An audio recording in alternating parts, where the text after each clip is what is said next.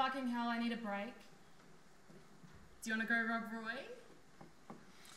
Yeah, definitely.